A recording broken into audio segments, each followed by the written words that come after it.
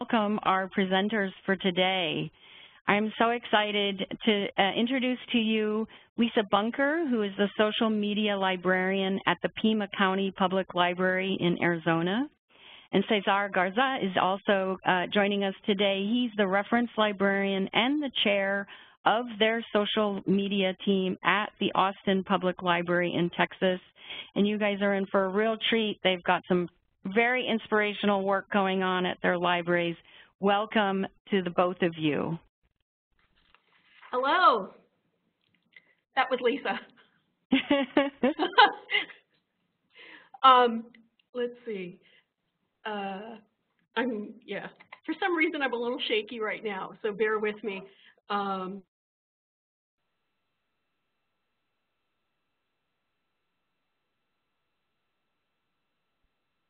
Oh, Lisa, it looks like you you just got muted. I'm going to let you unmute yourself. Oh, that's odd. Okay. Um, all right. So I'm going to um, say a little bit more about um, how we work at Pima County Public Library. Um, our social media is structured to maximize contributions from our branch libraries, and our training is very focused on why we are there and and on writing with authenticity and spontaneity, uh, I oversee branch writers, but I really don't interfere a lot, um, and I'm and I'm not a manager. I'm I'm a librarian one. Um, I work in the communications and systems office with our PIO and our website team, but I try to get out into libraries as often as I can. Um, I do coordinate loosely with our PIO and our content planning calendar, um, but I tend to write my own copy um, and, and tailor it for social media. For the last three years, I've also taught local businesses and nonprofits about effective social media with uh, two monthly classes, one on strategy and the other a Facebook lab, where we get into the guts of an organization's page. I highly recommend that libraries share their expertise this way. It's a great community service. Cesar is next.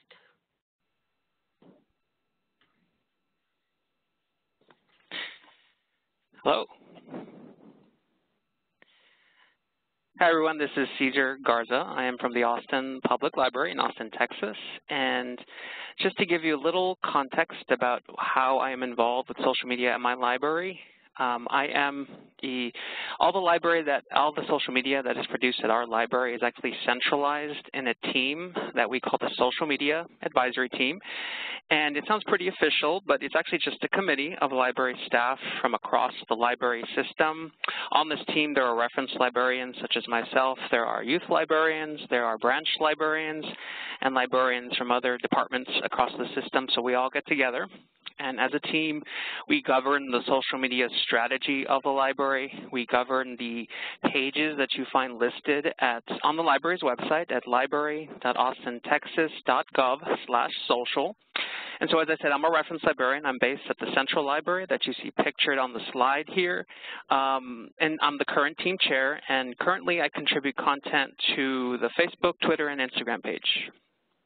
So today, Lisa Bunker and I, we're going to cover four essential topics. Uh, those topics are going to be, the first one is going to be what is content curation and how can you fit it into your workday? The second topic will be how can you use your strategic plan to create posts for social media? The third topic will be how can you, how you can amplify your library's voice with the help of ambassadors. And the fourth topic will be how to add the spice of live broadcasts on Facebook. So we're going to turn the ball over to Lisa. Hi. Um, so I wanted to talk about curation because um, it's it's used in the description here, but um, it, it, because it's a word that comes out of the museum world, um, I, I, wanted to spend a little bit of time talking about what it is and what it isn't. Uh, so this webinar is about taking it deeper, right? So one way to deepen what you offer is to articulate as a team why you're there, meaning there on social media, and, and who you're speaking to. So the curatorial mindset can unleash your creativity and spontaneity um, because it isn't a straitjacket. It's not strict rules about uh, what you can and can't post. It's a mindset where, um, just like a good collection development policy, you're um, in real life, in real time, um, picking and choosing things that you know are of interest to the people who, who are your audience on social media. Uh, so basically, it, it, helps you focus so that you can plan ahead and um, and in a spontaneous way recognize opportunities as they in real time as they happen. So, and I believe it saves time because it gives you curation would give you useful parameters for content. Um, that that you always have this kind of um, voice at the back of your head that, um, which is what I think of as a mindset, that it has um, where you're picturing what you want to be posting and keeping an eye out for for social media. So when you know why you're there, you're going to see stories all around you. Um, and furthermore, um, when you do it in a very conscious way, it can help align with your libraries and your community's goals. Um, and I can guarantee that your admin folks will be more supportive of social media um, when you demonstrate this. Uh, so if you want to put it in library terms, um, curation is a mix of collection development and storytelling. Um, and you're basing it all on specifically what your community needs and what its aspirations are, um, as well as the library strategic plan. Hopefully there's a lot of overlap there. Um, so as with our physical collections of books and movies, curation is only successful when you listen to what your users or customers or patrons value, what they find useful. If you're only pushing out messages about the library, you're not using social media to its fullest and taking advantage of its unique opportunities. And if all you do is broadcast, you're not inviting customers to participate. So I think you're sabotaging yourself because participation is how your audience grows. So you, you can broadcast, you can cut and paste from your website, you can cut and paste from your calendar, but you're going to be unhappy on social media with the results. True curation hits the sweet spot between what you need to convey about the library and what your readers will find useful and interesting. The highest compliment is when they share something you've posted with your friends.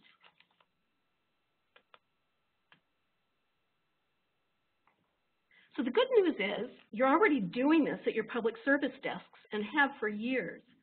We know storytelling. We know how to hold an audience's attention. We know how to listen to our community's needs and aspirations.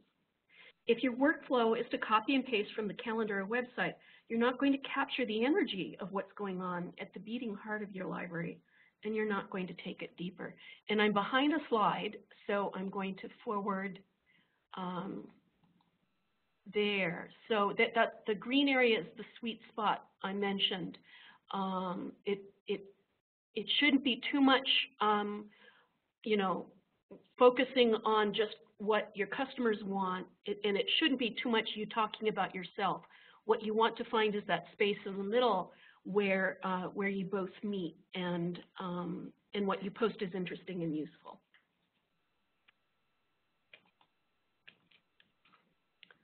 Yeah, you're doing this already. You, you've been storytelling forever, probably, if you've been in libraries as long as I have. Um, and it's, I think we've kind of done, uh, you know, I've been in libraries for almost 40 years. I, I think we do a lousy job of telling our own story. Social media gives us a chance to tell that story in a deeper way um, and, and really focus on telling the story of what we're doing and not, and not other people's stories.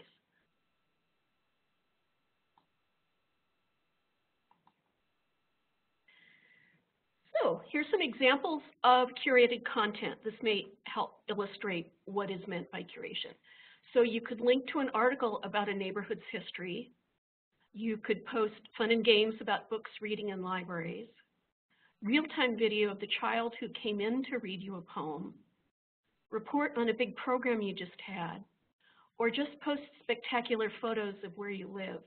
Um, and what we're going to do further on is reverse engineer some posts and and and go from a real post and talk about how how they um, illustrate these different kinds of content um, that you can do in libraries.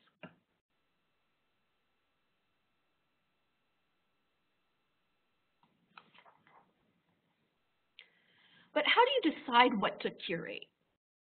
What topics and messages do you focus on? Um, this is part of a handout that is in your kit. Um, I have I have this graphic on it um, above and a space below for you to um, make your own version of it. This is this is a very uh, kind of personal um, chart of what we're doing at Pima County. So, and it helps me, it gives you an idea of sort of what's at the back of my mind, what I'm always looking for, what stories I'm, I'm uh, trying to be attuned to um, around me so that I can get them on social media. So having a chart like this is also a great uh, brainstorming tool, um, not just for you, but for your colleagues, with your admin, with your marketing folks.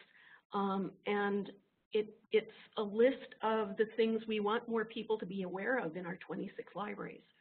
So um, one would be, and it's one of several, but um, we're a welcoming space for everyone, and we are busy.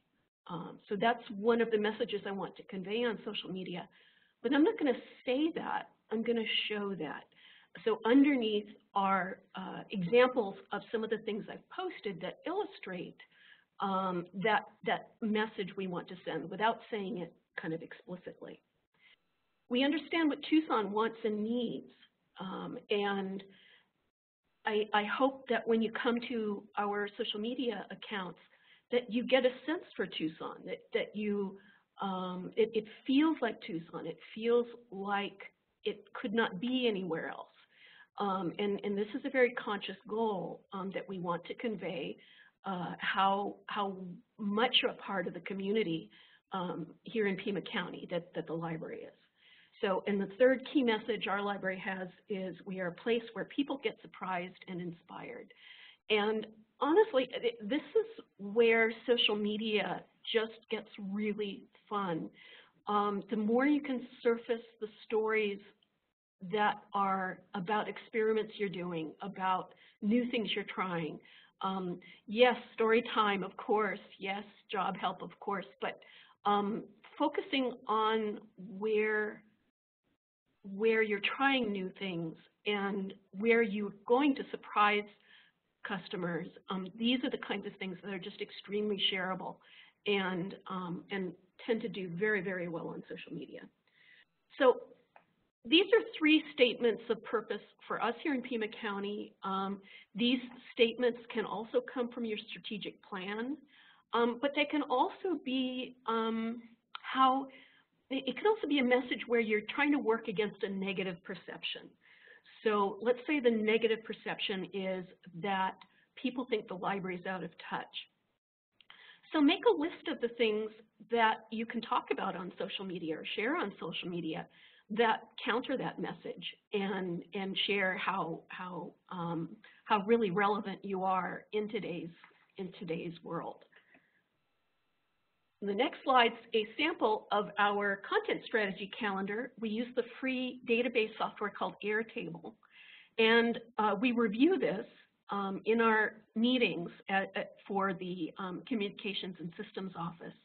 We also, once a month, share the highlights of this with staff because we're encouraging them to write book lists and blog posts that, that fit with the kinds of content that, um, that we are um, emphasizing both on the website and on social media.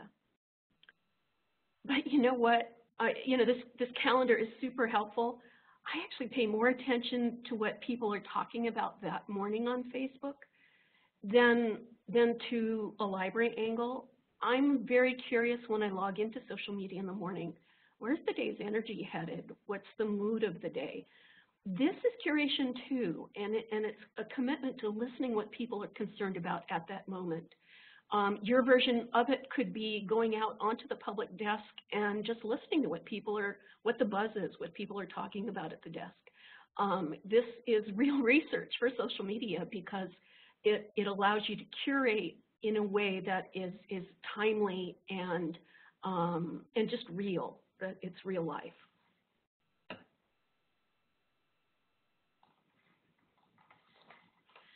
Um, so this is the reverse engineer section. Um, I wanted to show, I mean, some of these are like really huge reach posts, but I really wanted to show some of the posts that, that are just really good ordinary posts um, so that you could see what, what I'm talking about.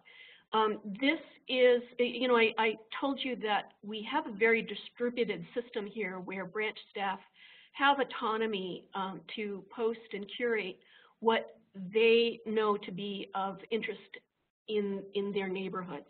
And so this is one of our libraries. It's Wheeler Taft Abbott Senior Library. And um, this is the screenshot of the insights for this post. So you're seeing information that the public can't see. Um, but you can see on the left, Lupita's posted, uh, it was a regular series, um, and this was today's act of kindness, donate food to the community food bank. And um, underneath, she's given um, links so that everything you need to be successful at this, this challenge, this, this activity, is there for you. And, and the graphic is, um, is what's most needed at the food bank. So let's reverse engineer this. Why was it successful? Why did it work? Honestly, the photograph is boring, and you know, gurus will tell you this is way too much text for a Facebook post, and she's got more than one link. But um, it, you know, at the time, this page had about 400 likes, and uh, if you look at the reach of over 1,200, she's she's definitely beaten the uh, Facebook algorithm um, and reached 300% of the number of people who, who like the page. So that meant that there was a lot of sharing and a lot of interest in, in this post. Um, I, I think this one boils down to knowing what people are talking about, timeliness, that this was, you can see December, early December and 2016 after the election when we know a lot of people were looking at ways to uh, give back to the community um, and just the time of year when people are focused on that. And, um, and just how I think the completeness of the text worked for her in this situation. So um, yeah, th that's, uh, post your own reasons why you think that was successful. I, would be curious um, to, to hear what you think about it. Okay, here's the next slide. Oh, by the way, um, we're working with Lupita right now on a year-long kindness project um, that, that will start next year. I'm very excited about that. All right. so this, this, is just kind of silly and geeky. Um, and this wasn't as huge a uh, reach as what Lupita did. Our this page is the main page, and this page at, the, at this point had about almost 10,000 likes. Um, so, so this isn't 100% even of, of the number of likes, but it's still a very, very solid post and definitely um, beat Facebook's algorithm. Um, if you're curious what I mean by that, um, take the number of likes of your page and divide it by 5% or to 7%. And this is the worldwide average of the number of people who see a post. Um, and there's all kinds of reasons for that, but um, if you're beating that 5 to 7%, uh, you're beating Facebook's algorithm and doing a very good job indeed. So uh, let's reverse engineer this one. Um, this was to illustrate um, our history of innovation and our decades of experience um, providing new things that are needed by the community. Um, it's also very hyperlocal, which is something that is um, a high priority of ours.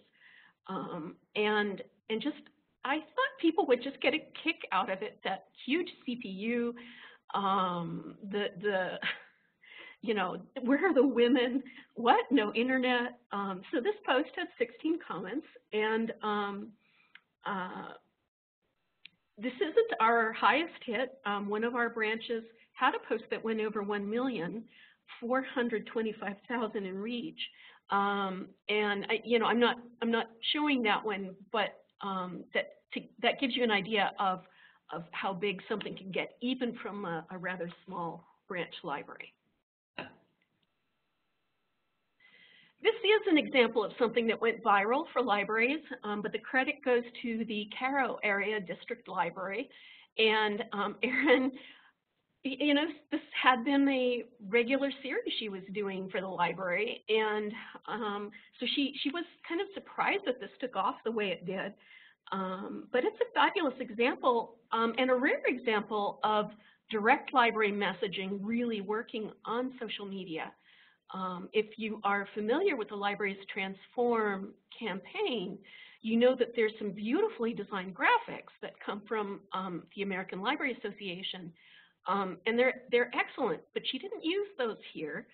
She, um, they, the library had put one of the phrases on their marquee, so she went out to the front of the library, and instead of using a very kind of polished, wonderful graphic, she made it real, and she, she posted a picture of the, you know, the phrase on their marquee, and it just worked. It, it really went viral um, and was made a bunch of major blogs. I think even, um, oh, I forget. Yeah, anyway, it, it just, it really made a big splash and it was so exciting for her to do that. So I think the key here is timing, it's clarity, it's simplicity, um, and the message is it, well, it's a combination of message and something hyperlocal, which, which makes it real. It, it takes a marketing message and made it real. Um, part of part of the context of the time here was that this was March 2017 and fake news was being discussed everywhere. So it, this post really did hit a nerve. Uh, this is a real simple one that I've used twice now, um, I, and it was very simple to do. I took a picture of my hand with a pen in it and put the text over it and invited customers to, um, to share what their two words would be. Um, so here what's curation is that it's, it's a simple challenge that um, I hoped would be irresistible to respond to um, hopefully as soon as you read that, you know, what the text was, you yourself were thinking of those two words and, and thinking how fun it would be to share them with other people. Um, that's kind of what I mean by irresistible. Um, this post, uh, that, I reposted it recently and it got 188 comments, comments, which was very fun. Um, and, and, again, it was super simple to do. You could reuse um, my image if you want or, or just take your own challenges like this um, really can produce some fabulous participation with your readers. They are a risk. Um, so here's what I've learned about doing these kinds of participation challenges.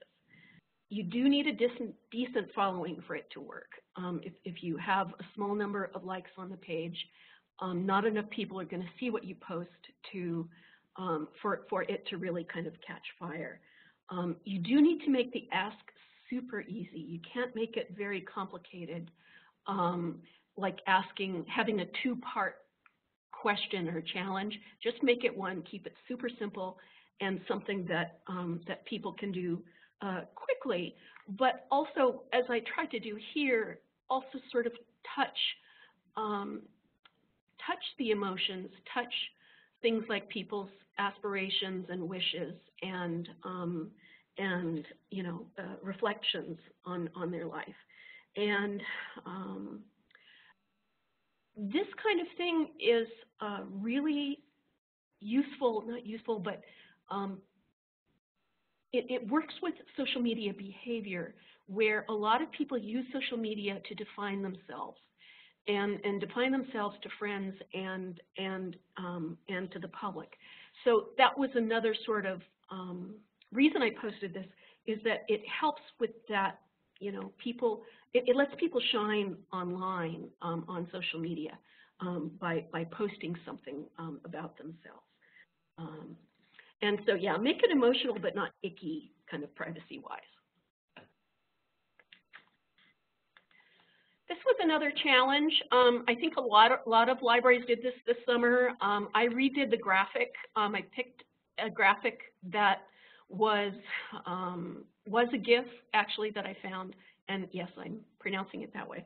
Um, so here's some other examples of challenges you can do. Um, what book was so scary you refused to read it again? right? Type, uh, or yeah, that's the title. Write a haiku about something um, that everyone is super excited about. Um, for us here in the desert, it might be a rainstorm, and, and we've done that. We've invited people to write haiku about the rain clouds and, and rain, summer rain in the desert, and um, it, it did really, really well. I think we got 45 haiku. All right, speaking of rain,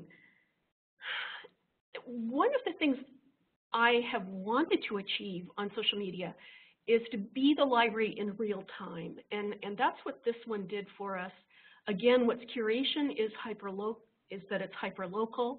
Um, there is no direct um, association with the library here, except to convey the message that um, we live here too. We are fascinated by what you're fascinated by, and um, and hey, you know, boy, rain and, and our normally dry riverbeds full of water.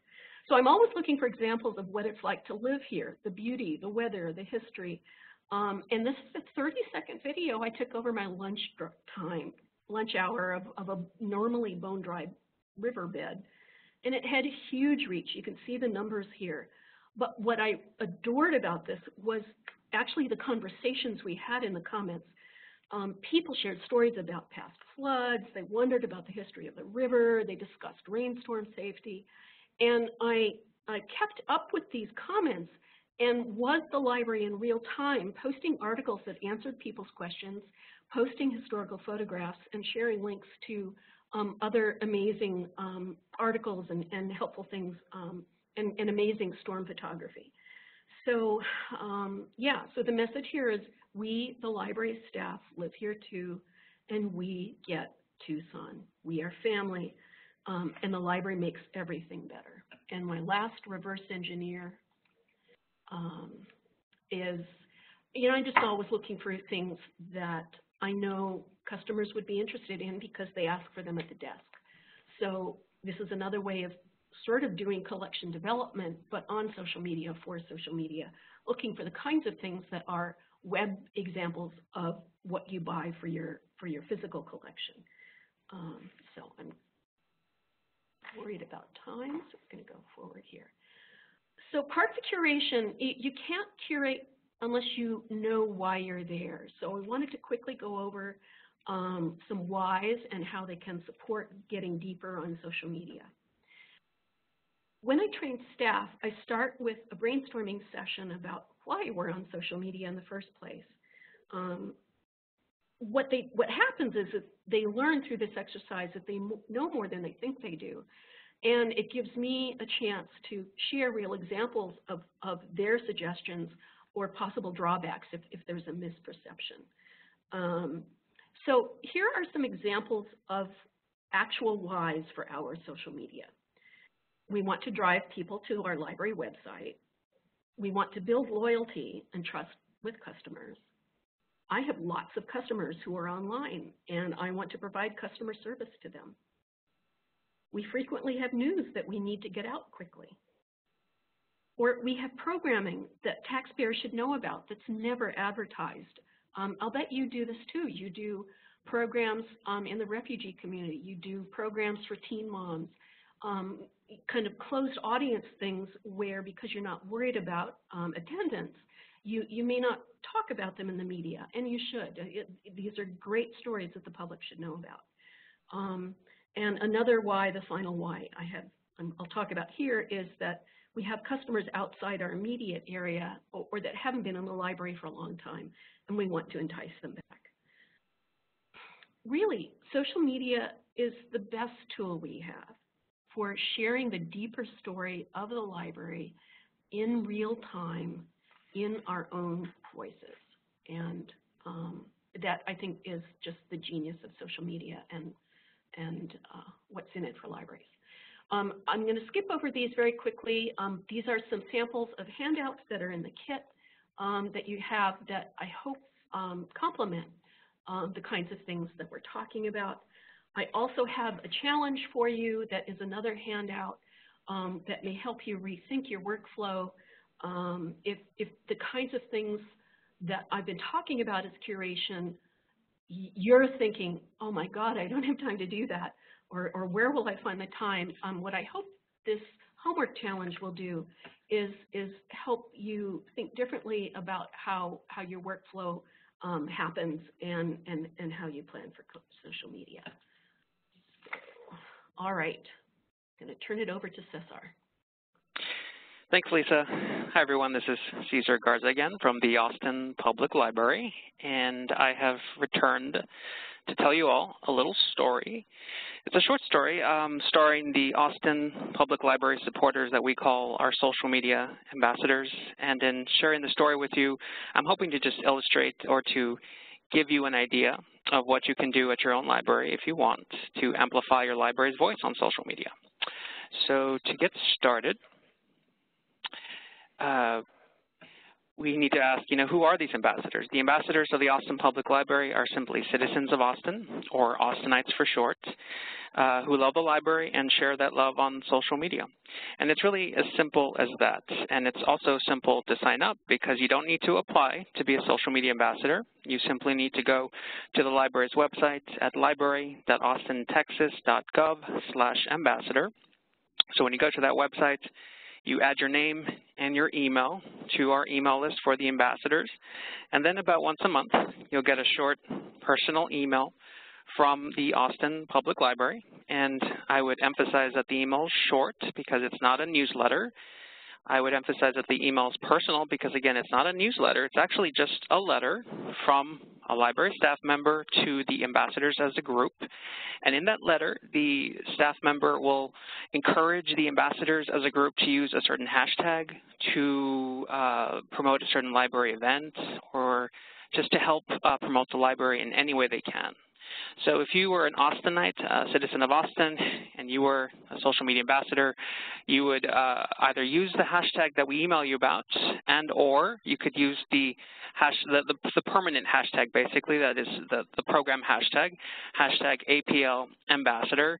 And and when you use that hashtag we're basically just trying to encourage you to be as creative as you can to promote the library whether it's posting what you're reading what you checked out from the library what, what your favorite branch is what you're looking forward to anything any any almost anything having to do with the library you can uh, share it, use the hashtag APL ambassador, and that that's how you are, that's how you become an ambassador. And I'm happy to report that to date, as we record this webinar, December 2017, we have 1,100 Austin Public Library ambassadors, and the list seems to be growing. So we're excited about that. So now I want to talk about why, um, you know, why we did this, why we organized the ambassadors, why we why I think we need them now more than ever. Uh, and one of the reasons why is on the next slide. So this slide that you see on your screen, it is a screenshot of an article from the blog of Hootsuite.com. The, the blog is titled Organic Reach on Social Media is Declining. Here's what to do about it. I'm not going to go over the whole article, but I just wanted to share it with you because it talks about organic reach.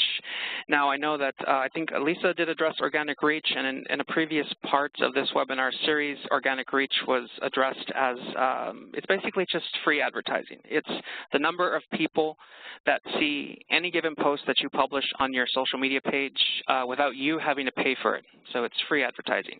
And unfortunately, the organic reach that we have depended on for so long is declining. One takeaway from this article is that organic reach for Facebook pages fell 52% in 2016. That's 52%. And in the next article I'm going to show you here on the screen, it is uh, an article from the website socialmediatoday.com. The article is titled, New Study Finds Facebook Page Reach Has Declined 20% in 2017. So we just, I just showed you an article that said the reach declined 52% in 2016 and, and then it declined a further 20% in 2017. So clearly these networks are trying to move us away from free, getting anything for free, I'm sorry to say. But um, that one of the takeaways from this article on socialmediatoday.com is where it says that organic reach on Facebook has been in decline since late 2013. Now, I have managed a Facebook page for a library since 2010, so I have seen firsthand how the organic reach has changed over time, how indeed this is true. It is now really hard to get your content in people's news feeds, and I can tell you um, this decline has, was one of the reasons why at the Austin Public Library we organized the Social Media Ambassadors Program. So that's just one reason. There are actually a few that I'm going to share with you now. Um, one is, of course, the decline of organic free reach.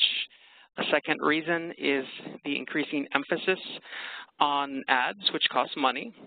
A third reason is the increasing demands on staff time. And, um, you know, as time goes on, these networks, they evolve. They become more sophisticated.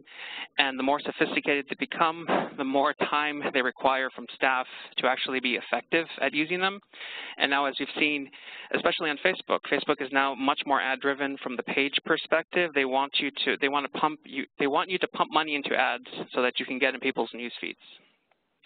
But perhaps the biggest reason of all why we uh, need our social media ambassadors is uh, reality. it's the reality of library land that we all inhabit.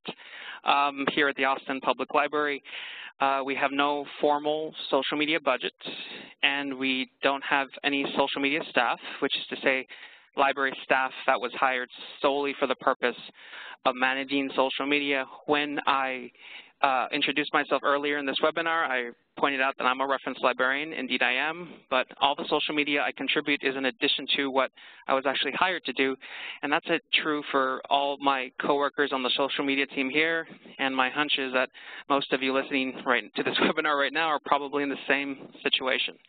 So we devised this ambassadors program to uh, basically implicitly share the responsibility and the fun of social media with our ambassadors because I think that in a very literal way, these our social media ambassadors, they embody the organic free reach that now eludes us.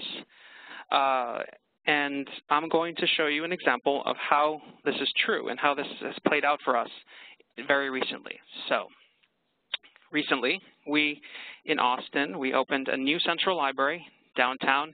It is the, library pictured in on the slide here.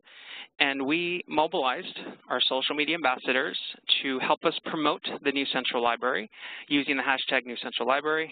And uh, when we did that, it, they helped us sort of amplify, raise awareness, uh, uh, sort of generate chatter in the community about this very beautiful building that opened on October 28, 2017. So how did this happen? I would say that this, the, the way that we mobilized the ambassadors actually happened over the long term. It didn't happen right away. It didn't happen overnight. We launched the ambassadors program in November of 2015, uh, knowing that the new central library would open. So this was a tactical decision we made. And then over a two-year period, from November 2015, when we launched the program, to October 2017, when the new central library opened, occasionally we would email the ambassadors as a group to give them an update on the new central library. And there was, we already knew that there was a lot of interest and excitement about this new building, and usually there is in a community when you open a new library. Uh, so anytime we email them an update, we would say things like, you know, use hashtag New Central Library, and they would share the updates. And just in doing that, they would they would generate organic free reach for us. And I suppose you can say that the crescendo, the peak of all these efforts to amplify, to uh, mobilize our social media ambassadors to ampl amplify the new Central Library, it happened on October 22nd, 2017, when we allowed a group of our ambassadors, a ticketed group of our ambassadors, to get a sneak preview of the new Central Library before it opened to the public on October 28th. Um, so the way that we did it, we used a website called eventbrite.com. We used eventbrite.com to issue free online tickets to our ambassadors, one of the stipulations was certainly the ticket was free, getting attending the preview was free, but you had to be a social media ambassador in order to attend, and each ticket allowed an ambassador plus up to three of their guests, including children, to come to the sneak preview. And when that happened, um, we got a lot, a lot of photo, photographs and a lot of excitement and emojis being used when they saw the, the new central library for the first time. And um, that there was a lot of more orga organic and free reach for us. So on the next slide, this is a picture I took myself during the sneak preview for the social media ambassadors. This is a group, the, the group of ambassadors with their families and friends. They are gathered in the first floor of the new central library at the foot of the atrium that actually goes up six stories. Uh, the gentleman on the lower right corner is the director of the Austin Public Library and I arranged for our, my director to welcome the ambassadors before we just set them loose into the building to start tweeting and posting and using the hashtag. And um, and so he did that. He only welcomed them for about five minutes, and I insisted that I insisted that it be a very short welcome because we didn't want to hold the ambassadors back from just going wild in the new building. So now before this preview happened. Uh, we, over the two years before this, uh, from November 2015 to October 2017, um, we tracked how much the hashtag APL Ambassador was being used, and we can see that it was being used most on the, the, three, the big three social media platforms, uh, Facebook, Twitter, and Instagram. So if you ever have a chance or if you're ever interested, I would encourage you to go to Facebook, Twitter, or Instagram, look up the hashtag APL Ambassador and the hashtag New Central Library for the post dated October 22nd, 2017, which was the day of the sneak preview, just to see what kind of posts uh, they put up. There was, there was a few hundred of them, especially on Instagram. So uh, for this webinar, I created a little collage. On this slide is just a collage of screenshots that I took from uh, the hashtag APL Ambassador on Facebook, hashtag APL Ambassador on Instagram, and on Twitter, um, dated October 22nd. I just wanted to show you all what the posts kind of look like, and it was just a, a myriad, it was just a very diverse group of perspectives and comments, and it was all just very exciting. Okay, so what are the takeaways? What are the lessons and tips I can share with you about the Ambassadors Program? Uh, the foremost one, the first one, is that your social media ambassadors, they share and thus amplify your community's library love, hashtag library love, from the grassroots because, as I said, they are simply um, average, everyday citizens of your community who want to just share their love for the library on social media. Uh, another lesson uh, that I gleaned from this is that ambassadors are a long-term strategy to both organize and build your library's online identity. Um, I would emphasize long-term. It is something you, you have to try to think of the big picture, and over the long term, um, you can build them up, build up the, uh, you know, build up the group of ambassadors, and then over time they can become a, a fort. You know, they can be some, you know, like something that you can really count on, a group of people you can count on when you need to get the word out Let's see. Um, if any of you listening to this webinar have any interest in trying an ambassadors program, I do have a few tips for you. The first tip is just to make it simple to sign up um, and like the library, open to everyone. The second tip would be to build an email list. Here at the Austin Public Library, we use MailChimp, which is an email marketing platform that you have to subscribe to, but there are other email marketing platforms out there. Um, there's another one that's called Constant Contact, um, and if you wanted to, depending on your budget or if you couldn't subscribe to a platform, I think just even creating just a simple email list on an Excel spreadsheet or even just in a, a certain email account to use for the library and just emailing the group um, it can really be as easy as that. Um, I think that it's important to attach some sort of action to the, the, the, the action of signing up to be an ambassador. Like get, you want to make them do something to become one. You know, even just signing up for an email list, I think, is, is more than enough. Another tip I have for you is to strategize. Uh, so you build an email list and you strategize the emails long term. There's the keyword again, long term, based on what I would call your library's big moments. Uh, a big moment is just a high profile event in the timeline of your library, such as opening a new facility, launching a new service, a new program, a new partnership.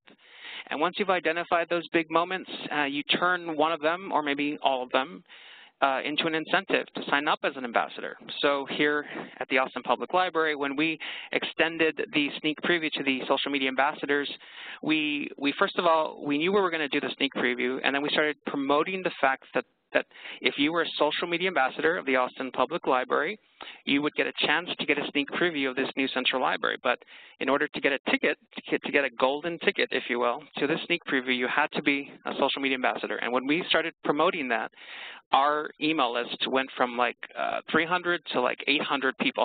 so like hundreds of people signed up anticipating that we were going to do this for them. And we did. And so um, that's definitely a big tip for me. Okay, so now I'm turning this over to Lisa. Well, I'm going to actually jump in. This is Jennifer.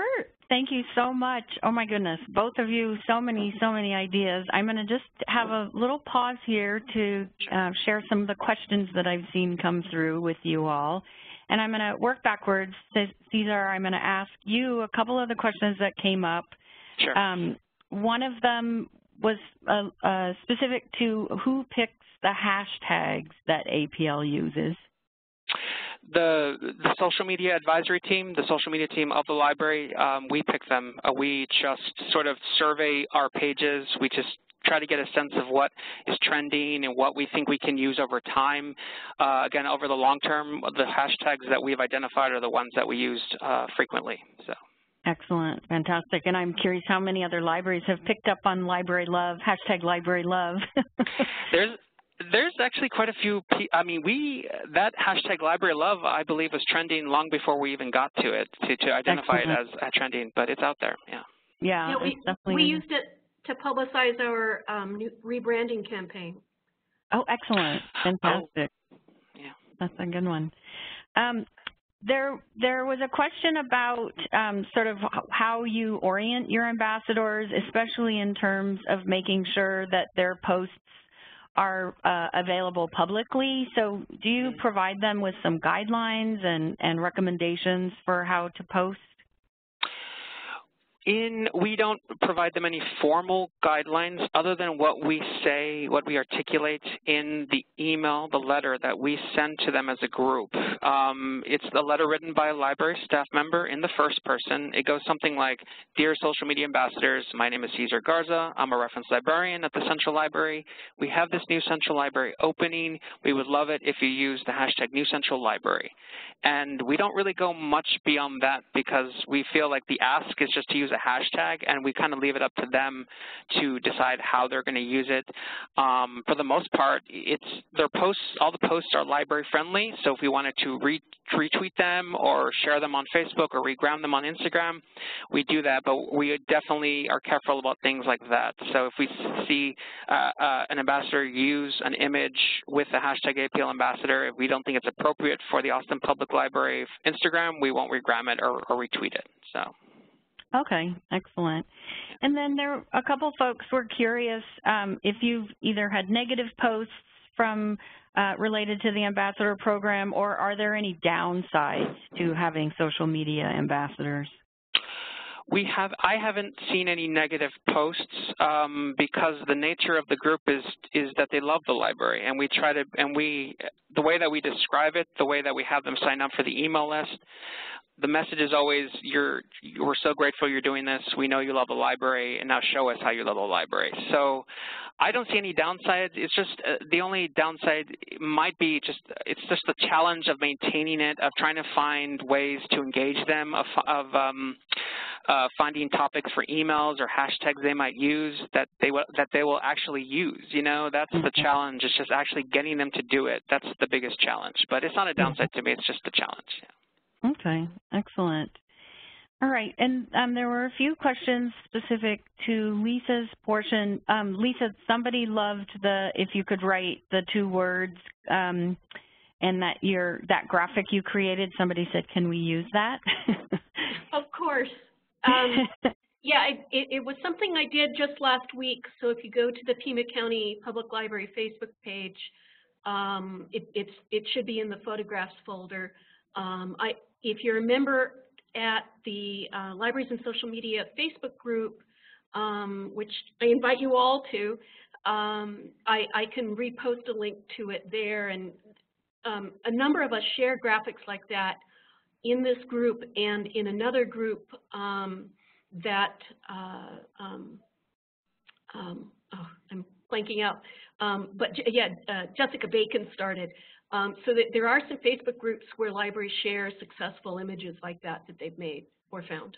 So yeah. Yeah, excellent. And and Jessica was a presenter on our first session, yeah. so yeah, definitely head back over. I did post her link to the um, Shareable Click uh, group. Earlier when somebody was asking about uh, how do you, we, a couple of people commented, Lisa, that they they don't have the engagement that you've been seeing and, you know, wondered what are some tricks. So I definitely recommended the shareable click, click as a way to see some of those posts that libraries are making that have gotten traction. So definitely uh, check that out as well. And then Lisa, one more question for you. Um, somebody brought up the issue of, in terms of curating content and staying true to your brand, um, for example, the library's brand guidelines at this library state that photography of people, events, and programs should be used rather than illustrations or GIFs. How do you sort of work through uh, those different sort of branding policies if if you if you need to coordinate with other folks that are making those decisions? Yeah, um, it, it's helpful that I work in the same office and was actually on our branding um, committee. Um, we have a very similar uh, part of our branding where uh, the only images, for example, that can be used on the website are professional photographs. Um, we prefer things that uh, are local and uh, taken, you know, taken of our own programming. But when we don't have that, we go to, you know, we have access to Getty images for that. We, we try to minimize uh, stock photography as much as possible. Um, on the other hand, we saw social media as uh, a place where, and, and, and for now it's the only place that staff can post their own photographs. Um, hmm. they, they, because of the branding, they, they can't be on the website. Um, so social media was seen as kind of an outlet for that creativity, and um, and and photography is something that we have trained staff on. You know how to, how to use photography to tell the story, that kind of thing. Um, it, if we have a barrier photography-wise, it's that we have to get written permission for everyone who's recognizable in a photograph, um, and uh, that that can be onerous um, and definitely get in the way of spontaneity. Um, mm -hmm. I hope that answers that question.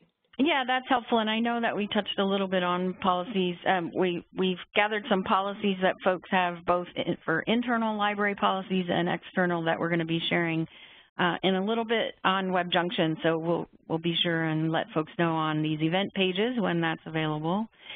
All right, well, in the interest of time, let's continue on. And for those of you that need to leave at the top of the hour, we will continue to record, uh, so you can certainly uh, circle back and listen to the rest of it when you have a chance. So thank you for being here.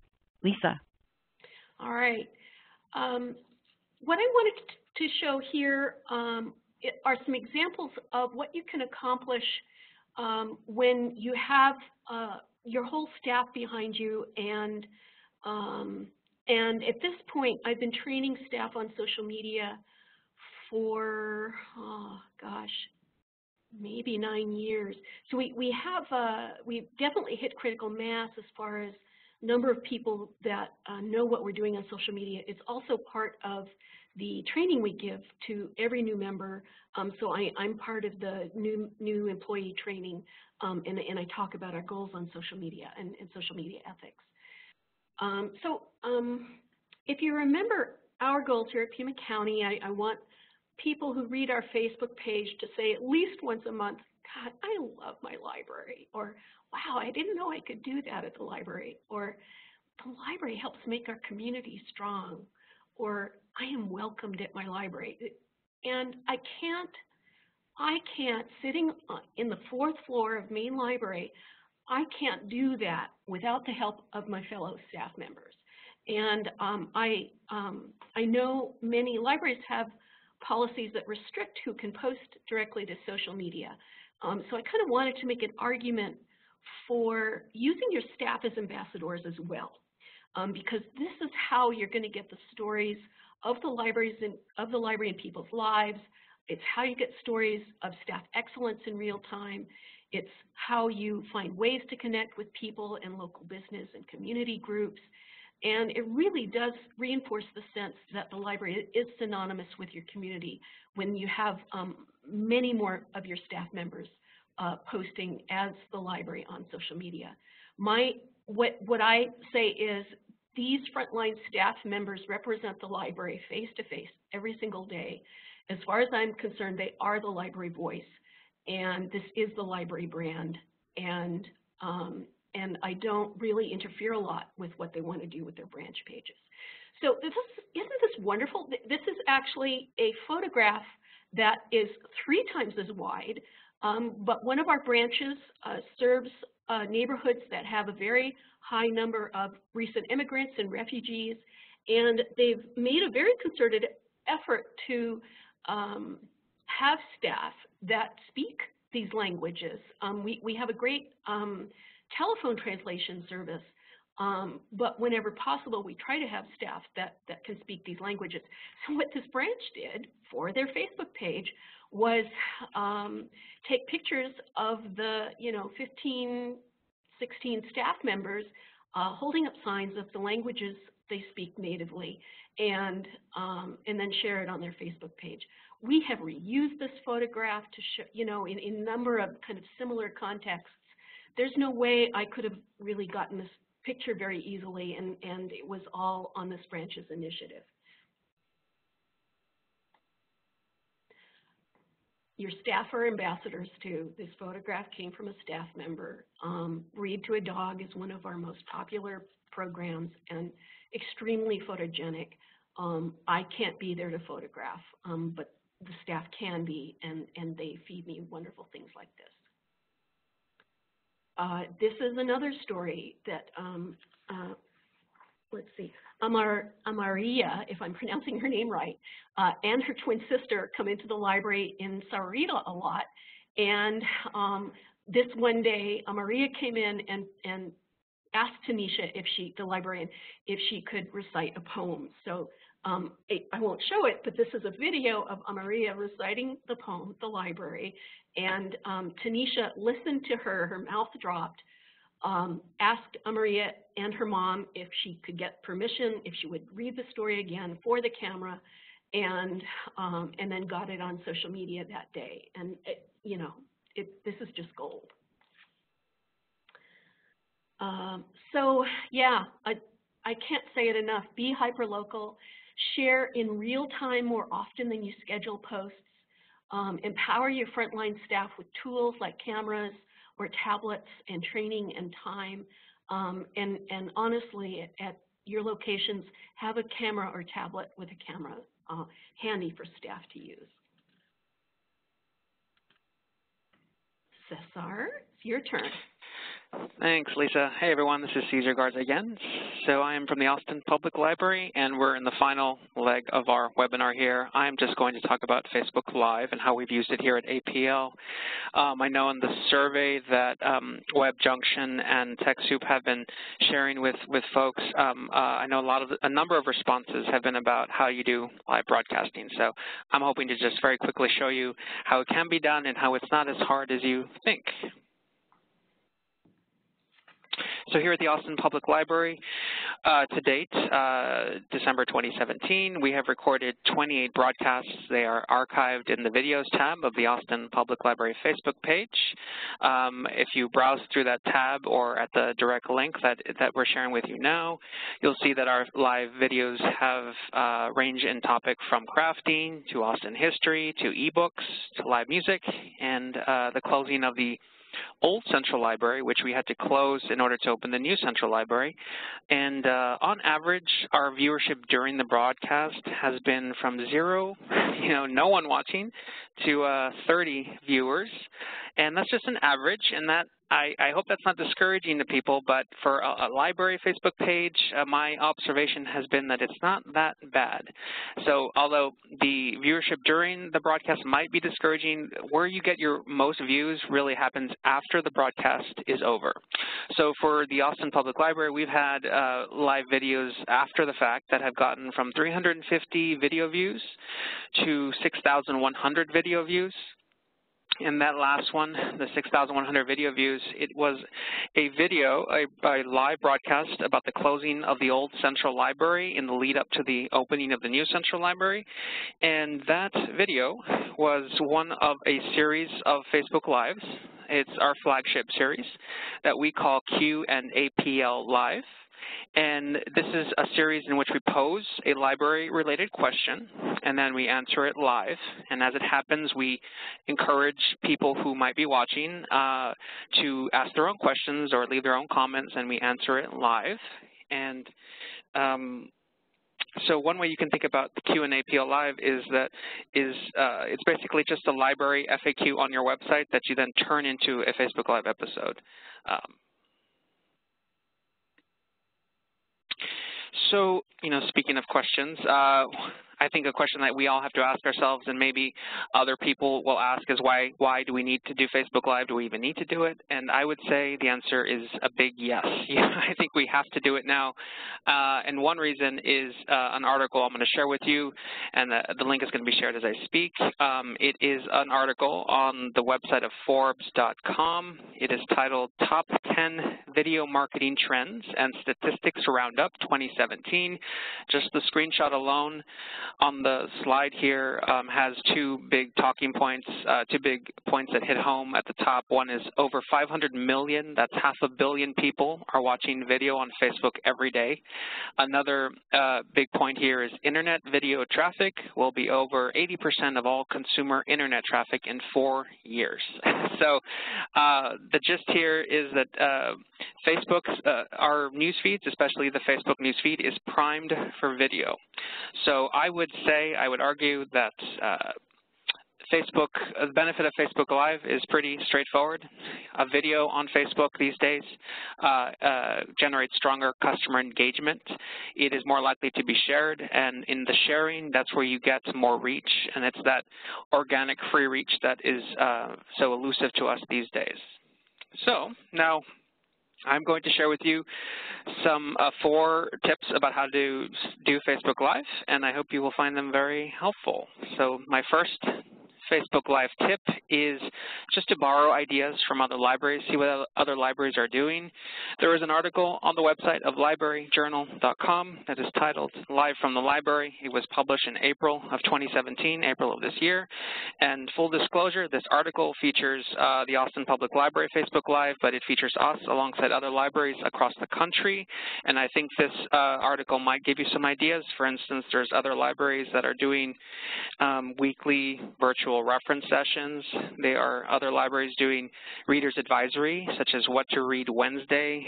There's other libraries that are using Facebook Live to give a tour of a new exhibition that is being held at the library. And um, so I think it's a worthwhile, I think it's a worthwhile um, article to look at. So uh, the Facebook Live tip number two would be to just equip yourself. Uh, use a smartphone and tripod. All you need is your personal smartphone. And in the picture on the slide here, those are my hands in the lower right corner, my hands peeking into the frame. I'm holding a, a six-inch a six-inch smartphone tripod, um, and this uh, only costs about 10 or 15 dollars depending on where you buy it from. But I found this very useful because it actually helps me hold my smartphone camera a certain way, and it helps me stabilize the video and reduces handheld shakiness. Now, it's in, in my experience, uh, when you record the video, you can get rid of the shakiness completely. Um, it really just comes down to how steady your hand is, but um, that stabilizer, that tripod, the way you hold it, when you hold it up with the phone, it's actually very useful. So all you need is your smartphone and just get a little tripod and you're good to go.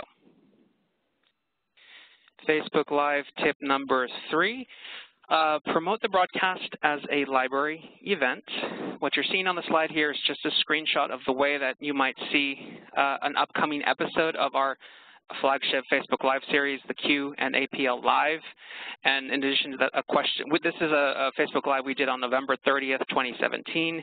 Uh, so very early on, I decided that, that we would promote our Facebook Live broadcasts on the library's event calendar.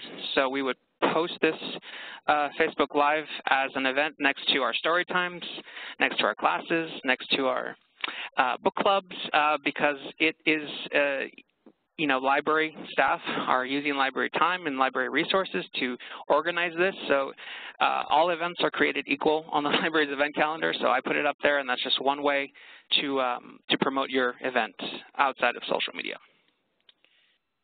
So the last tip, Facebook Live tip number four, uh, broadcast a fun, focused conversation fun as in casual, not overly scripted. Um, it's ultimately up to you how scripted you want it to be and how, how much you can memorize of a script.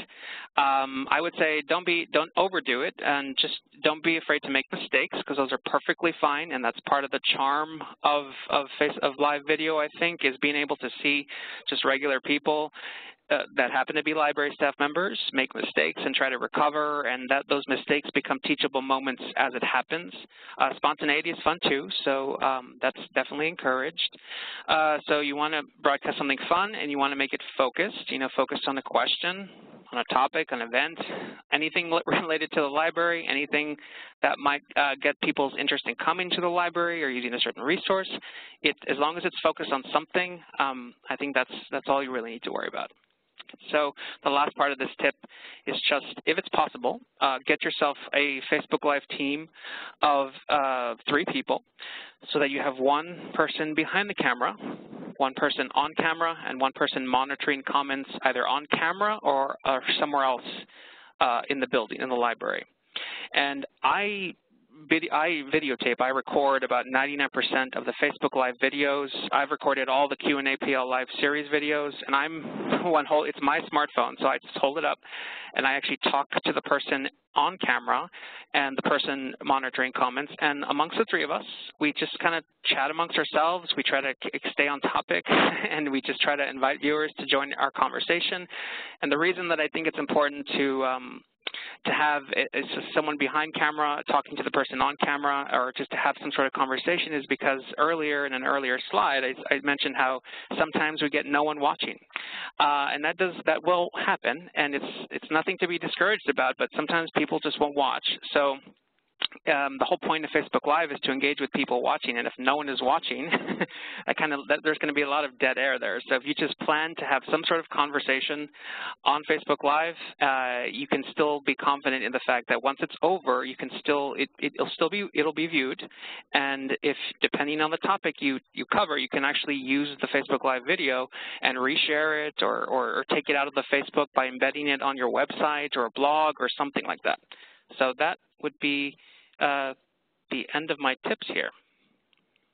Wow, fantastic. So exciting. Really, really powerful to see the ways you've been using Facebook Live. I wanted to mention that um, there's uh, the Milwaukee Public Library, I'm going to put this video in there, live streamed their Lucha Libre event that they hosted uh, uh, just earlier this month and uh, so that's a perfect example of some pretty big live streaming events that you could do at your library. Um, I just featured them in the social library edition that I published uh, just today, and I want to be sure I forgot to mention that during this session that I uh, go through a couple times a month and find examples of things that libraries are doing uh, on mostly on Facebook and um, APL was featured for their live streaming in an earlier edition of Social Library, one of the ways that I tracked uh, Cesar down. So I really want to thank you for sharing all of those great tips. There have been some great questions specific to Facebook Live. Um, thanks for the tip on uh, your, the equipment that you use. People were curious how you uh, keep steady. Someone asked about using a laptop versus a mobile phone, and it sounds like your focus is really um, looking out, not necessarily sitting behind your laptop and speaking. That's correct, right? That is correct, Jennifer. Um, that's a good question. Um, I find uh, we've we found it more, um, I suppose, the video to be more interesting if I move around a little bit. And sometimes, you know, if I use my own smart, or any smartphone, really, I don't think you can, you can't zoom in as the the video is happening. So you literally have to be sometimes in your coworker's face to to uh, talk to them and make the video. So I I do the tripod because it lets me move around.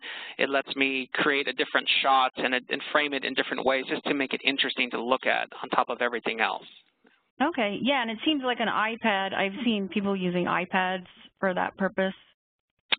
Yeah, they can. It's just iPod, iPads are, are, are, larger than iPhones, so iPads are heavier, and it's just up to, totally up to you if you're willing to hold up an iPad um, uh, with your bare hands, if you don't have a stabilizer, to hold it up for like 20 or 30 minutes. If you're comfortable doing that, then absolutely, yeah. Right. Um, so there have been a couple questions about how long your segments are. Um, someone talked about would it be a good idea to use to record a book club meeting. Um, how, how, how long are your segments usually?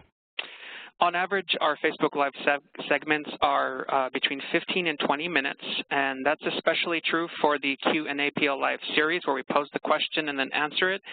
Um, sometimes we don't really need more than 30 minutes to do that. There, there has been one or two Facebook Lives, um, which was, I think, an author talk that was given. I didn't record it, but um, it happened on our Facebook page, and that talk was about an hour long. Um, I guess it really just depends on how much, like, on the topic itself, on the event, if you think people will watch, if there's some utility, uh, if you'll get some utility out of having this as a Facebook Live video, not just as it happens, but maybe afterward.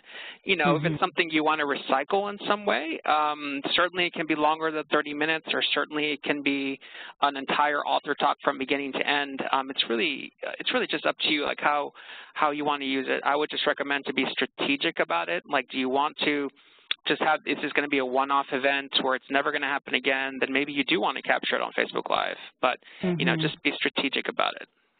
Okay. There's a great question about any tips for making your Facebook Live episodes handicapped accessible. Have you, um, I, I'm, I see some Facebook, uh, not, I don't think I've ever seen the live sessions closed captioned, but do you, have you investigated how to do that? I have investigated the closed captioning, and we cannot close captions through when you do Facebook Live through a mobile device. And mm. so that's where I'm kind of we're kind of stuck in a way because all I have available is the mobile device. Um, the way to do closed captioning is you would need to feed your Facebook Live video through I think um, you would need like a laptop or computer with certain software and you connect the laptop to like a high-end camera and then the camera feeds and you record Facebook Live through the camera into your computer and then through the computer you connect to Facebook. So it's like this broadcasting network you have to set up in order for the closed captioning to happen. So okay. yeah, so it's a little That's complicated. good to know. Worth worth investigating for sure. Yeah, excellent. Yeah. All right. Um, well, somebody put a sort of a big question out there, and I just want to put it out there verbally. Um, someone said, will the loss of net neutrality affect the way Facebook interacts with libraries, schools, and other nonprofits? And if people have been talking about that, it'd be great to hear in chat as well. I don't know if you, either of you have comments on that at this point.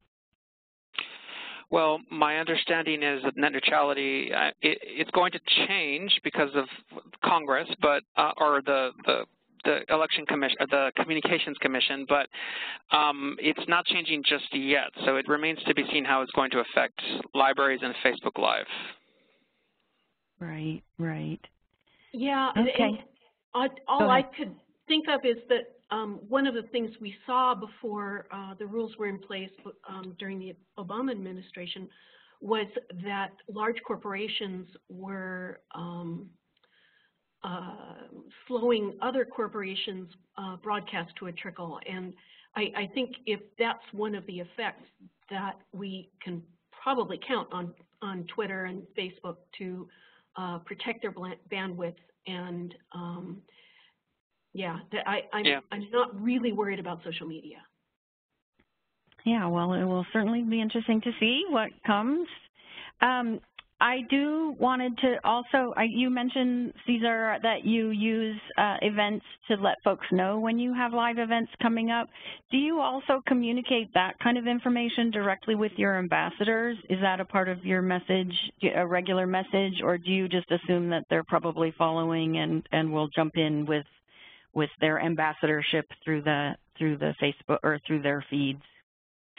Um, sometimes we do communicate our upcoming live broadcasts. We certainly communicated the fact that we had scheduled a live broadcast before we closed the old central library in order to open the new central library. That was uh, a big push for us.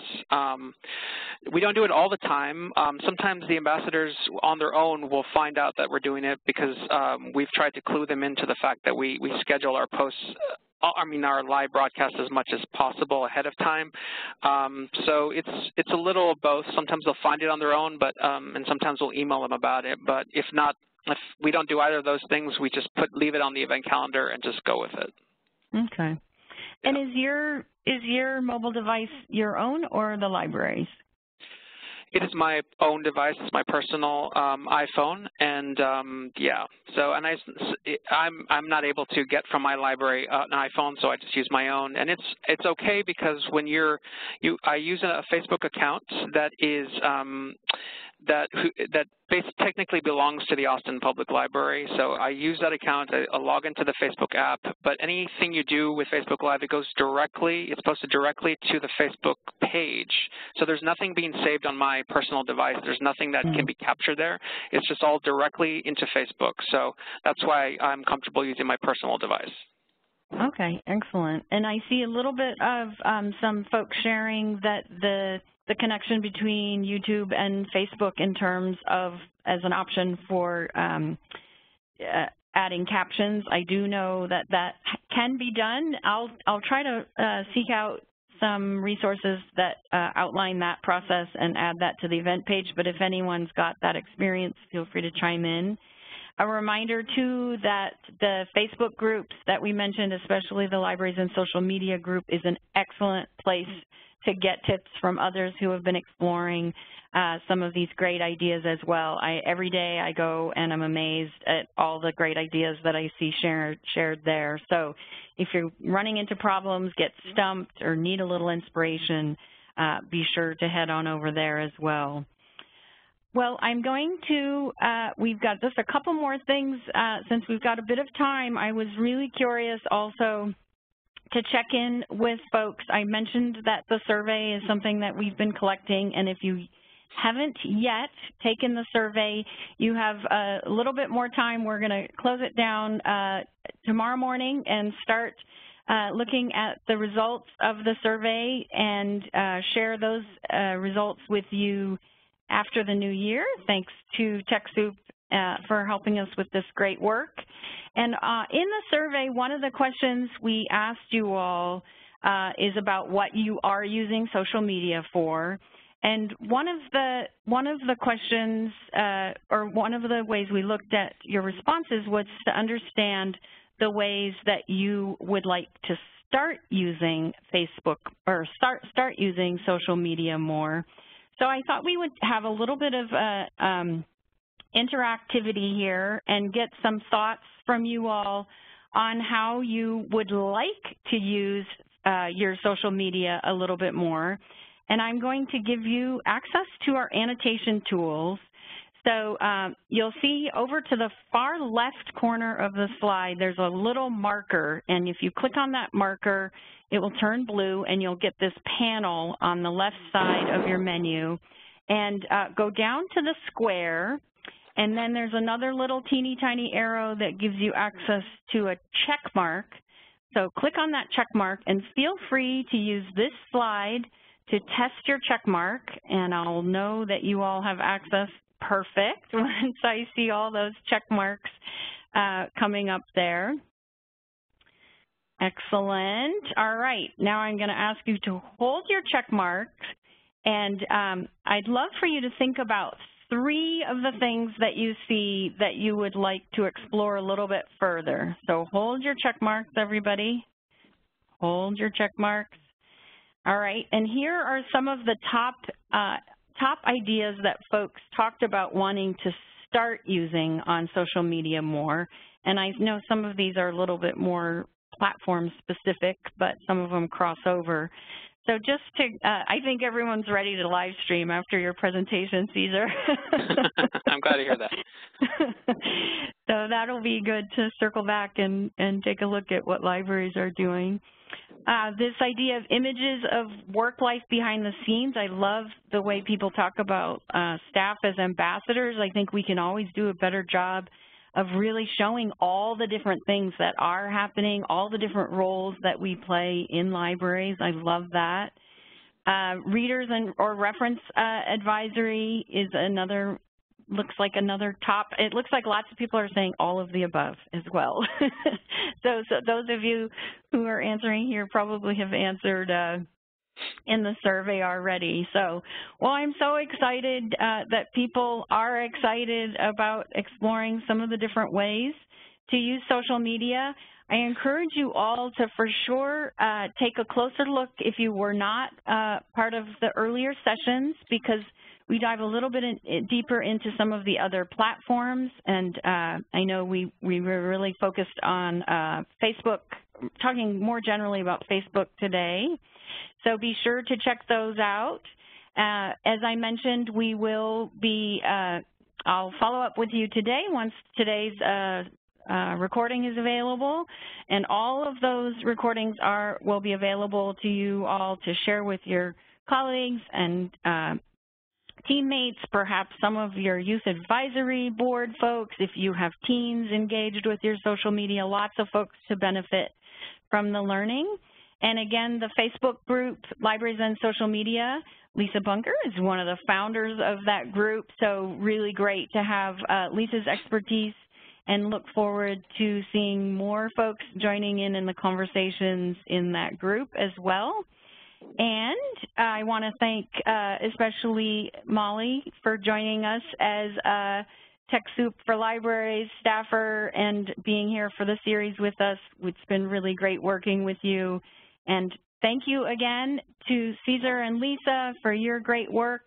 And we look forward to continuing to follow all the great work you all are doing in your libraries and uh, being prepared for whatever is to come with social media and our communities that use them. So thank you all very much for being here, and thank you to our captioner for today. Everyone have an excellent day. Thank Take you care. so much. Bye-bye. Bye-bye.